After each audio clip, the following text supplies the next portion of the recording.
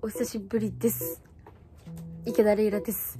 はい、非常に緊張してるんですけども、え、なんと、明日の動画から YouTube の投稿をぼちぼち再開していきたいと思います。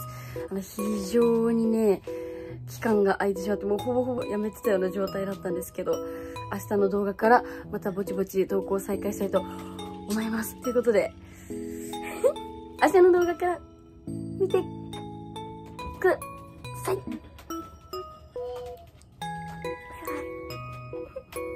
大丈夫そうこれ。